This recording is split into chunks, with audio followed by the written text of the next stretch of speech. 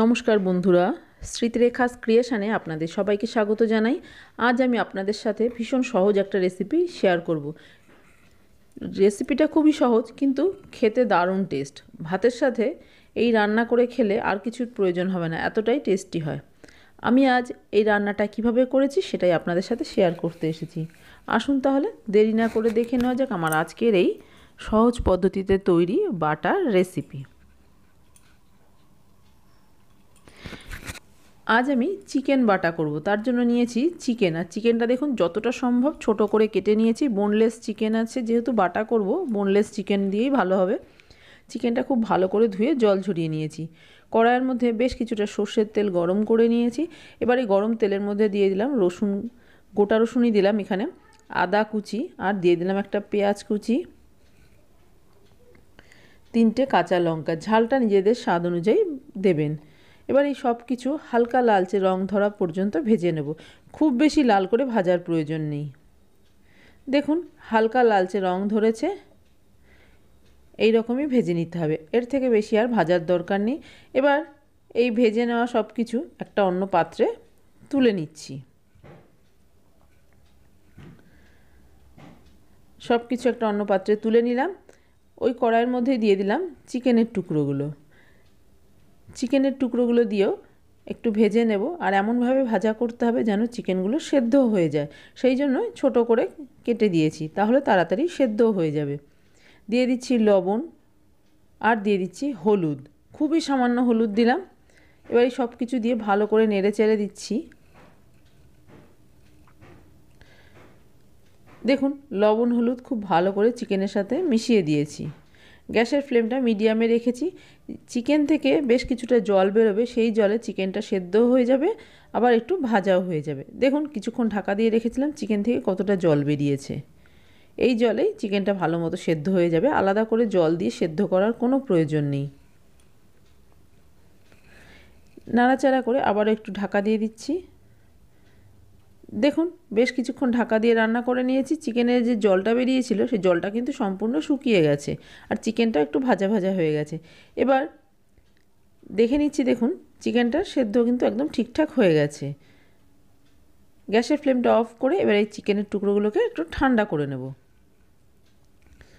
আজ আমি বাটা করব, সেই বাটাটা শিলে বাটবো। প্রথমে আমি পেঁয়াজ, রসুন, আদা আর কাঁচা লঙ্কা বেটে নিচ্ছি। এগুলো একটু ঠান্ডা হয়ে গেছে, এবার এগুলো বেটে নেব। খুব বেশি মিহি করে বাটবার কোনো প্রয়োজন নেই।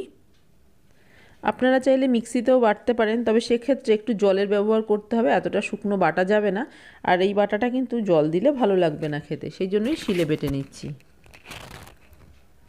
যেহেতু তেলে ভাজা, তাই একটু বাটতে অসুবিধা হতে পারে। আস্তে আস্তে বেটে নিতে হবে।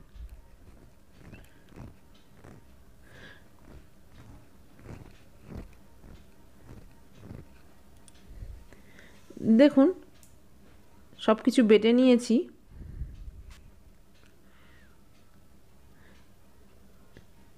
খুব বেশি দেখুন, মিহি করে বাটিনি।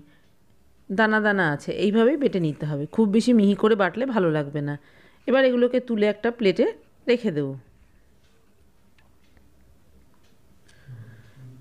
এবার আমি চিকেনের টুকরোগুলো, ঠান্ডা হয়ে গেছে, চিকেনের টুকরোগুলোকে বেটে নেব। শিলের ওপরে চিকেনের টুকরোগুলো নিয়ে নিয়েছি। প্রথমে একটু থেতো করে নেব, তাহলে বাটতে সুবিধা হবে। আর সম্পূর্ণ ঠান্ডা হওয়ার পরেই বাটবেন। গরম অবস্থায় বাটতে গেলে হাতে গরম ছ্যাঁকা লাগতে পারে। সব কটা চিকেন একটু থেতো করে নিয়েছি। এবার আমি চিকেনগুলো বেটে নেব। চিকেনটাও খুব বেশি মিহি করে বাটবার কোনো প্রয়োজন নেই। একবার বেটে নিলেই হয়ে যাবে।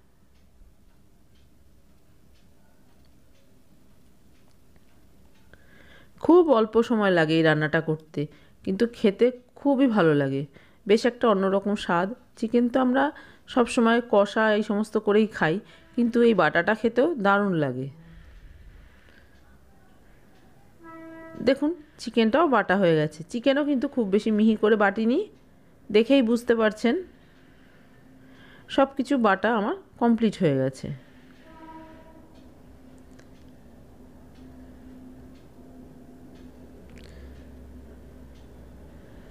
এই শিলের ওপরেই আমি একসাথে সব কিছু মিশিয়ে নেব। দেখুন, চিকেনটাও কিন্তু খুব বেশি মিহি করে বাটিনি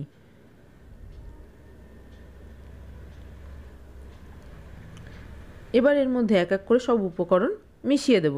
প্রথমে এর মধ্যে আমি দিয়ে দিচ্ছি বেটে রাখা পেঁয়াজ, আদা, রসুন, কাঁচা লঙ্কা।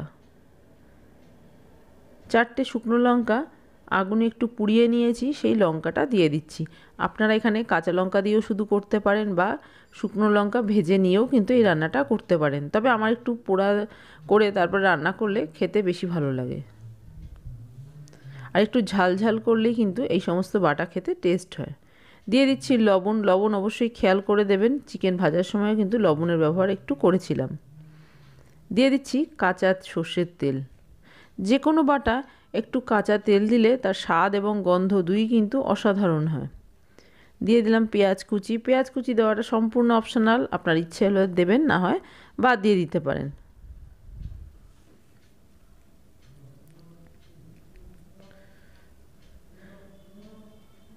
এখানে আমি দুটো উপকরণ মিশিয়ে দিতে ভুলে গেছি, এখন আমি দিয়ে দিচ্ছি। অর্ধেক পাতিলেবুর রস দিয়ে দিচ্ছি।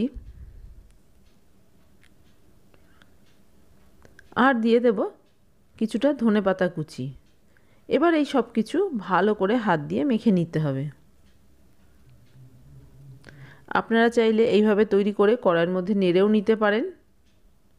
তবে আজ আমি হাত দিয়ে মেখেই ভাতের সাথে খাব। দেখুন সব কিছু ভালো করে মিশিয়ে মাখা হয়ে গেছে।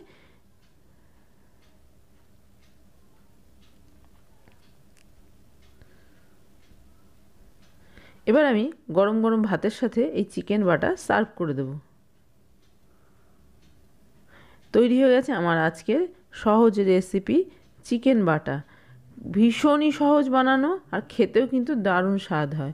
ওপর থেকে আমি আরও এক চামচ কাঁচা সর্ষের তেল দিয়ে দিলাম। আমার এই বাটার মধ্যে কাঁচা তেলের গন্ধটা কিন্তু ভীষণ ভালো লাগে। তবে আপনাদের ইচ্ছে না হলে বাদও দিতে পারেন। আমার আজকের এই সহজ পদ্ধতিতে তৈরি চিকেন বাটার রেসিপি আপনাদের কেমন লাগল বাড়িতে করে দেখতে পারেন। ভালো লাগলে একটা লাইক শেয়ার কমেন্ট করবেন। আর আপনি যদি আমার চ্যানেলে নতুন বন্ধু হয়ে থাকেন, তাহলে আপনার কাছে একটাই অনুরোধ, আমার চ্যানেলটা সাবস্ক্রাইব করে আমার পাশে থাকার। আপনারা সবাই খুব ভালো থাকবেন। আপনাদের সাথে আমার আবার দেখা হবে অন্য কোনো নতুন ভিডিওতে নতুন কোনো রেসিপির সাথে।